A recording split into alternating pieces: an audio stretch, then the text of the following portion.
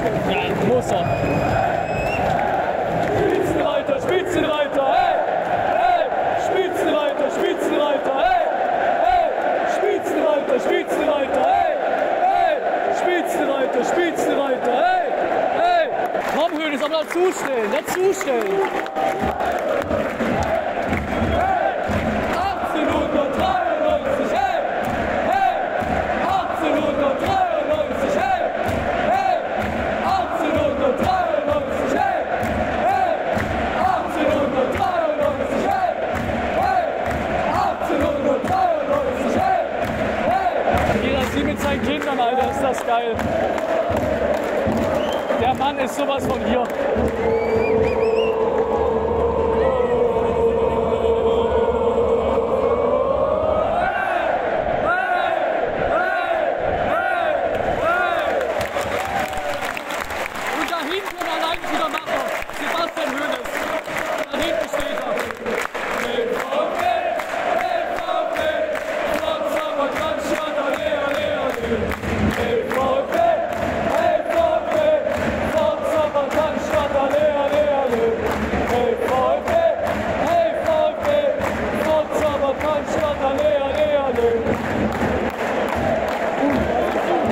Es bleibt der absolute Vollwahnsinn. Der VfB Stuttgart ist aktuell wieder über Nacht Spitzenreiter der Fußball-Bundesliga und damit rein ins Spielfazit. Habe jetzt auch ein bisschen Chronologie reingebracht und ein bisschen Stichpunkte vor mir stehen.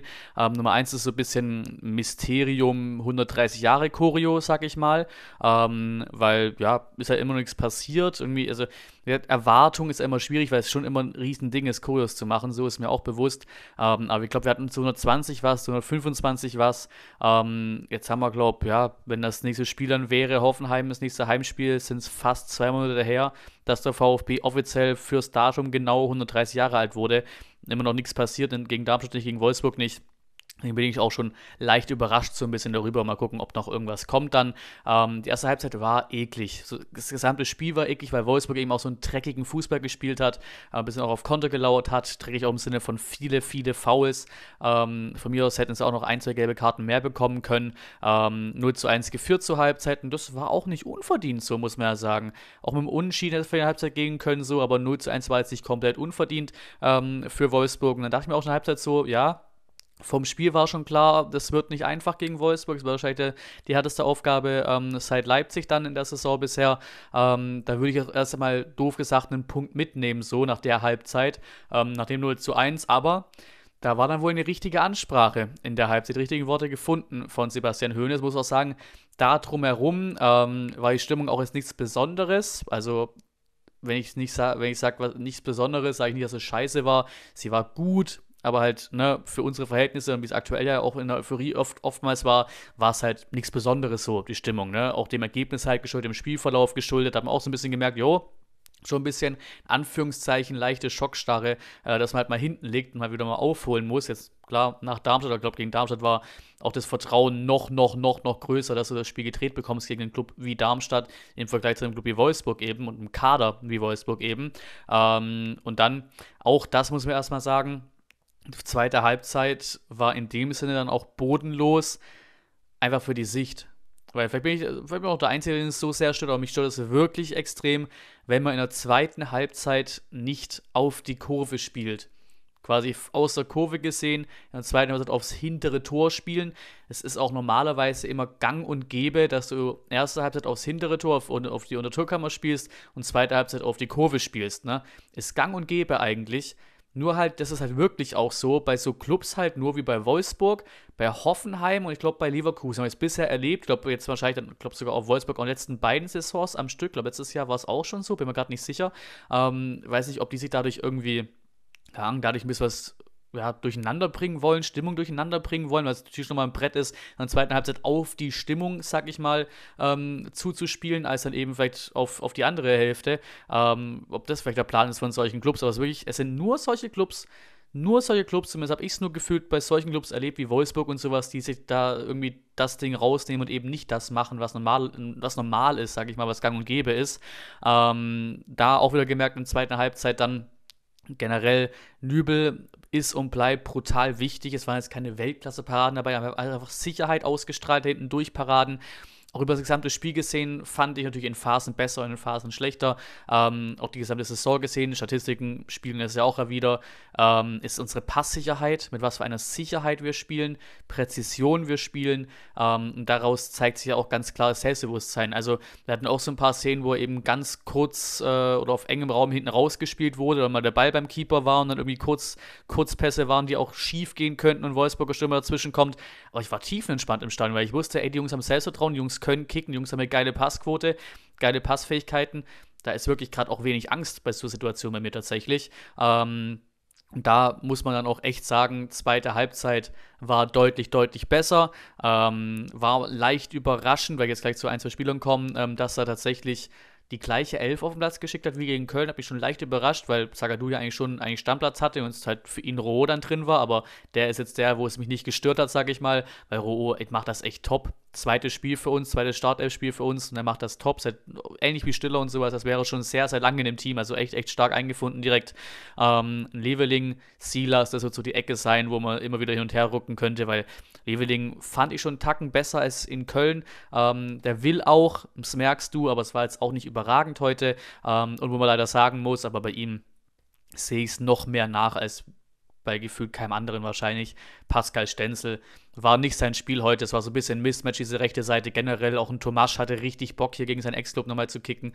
Ähm, der hat Probleme äh, bereitet für Stenzel. Es war jetzt mal kein wirklich besonders gutes Spiel von Stenzel, aber ich sag, das, das darf er sich auch mal, auch mal leisten, sag ich mal. Ähm, und dann kam sie wieder. Wie gesagt, zweite Halbzeit generell besser gewesen, mehr Druck gemacht, aber dann kam sie eben wieder, die Girassi-Show. Die Girassi-Show.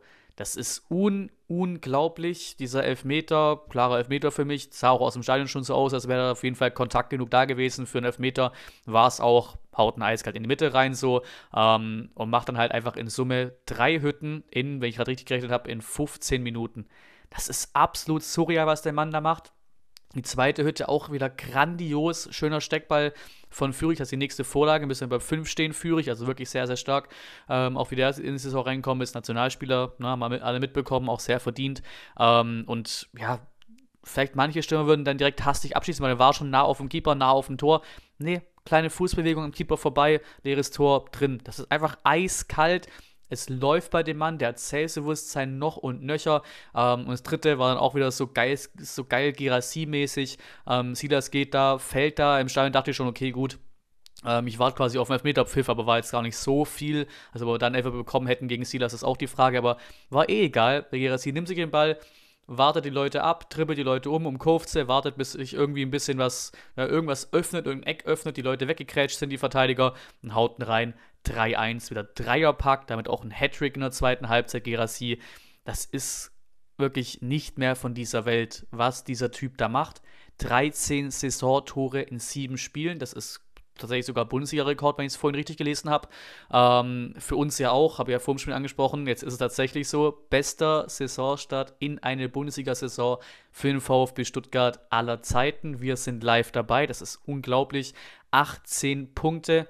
Ich meine, auch schon die Vergleiche aufgemacht, auch in anderen Videos.